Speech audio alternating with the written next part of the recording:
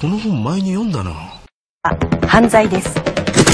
法律により10年以下の懲役もしくは1000万円以下の罰金またはその両方が課せられます。不審な行為を見かけたらドナルドまでお知らせください。直ちにで通報します。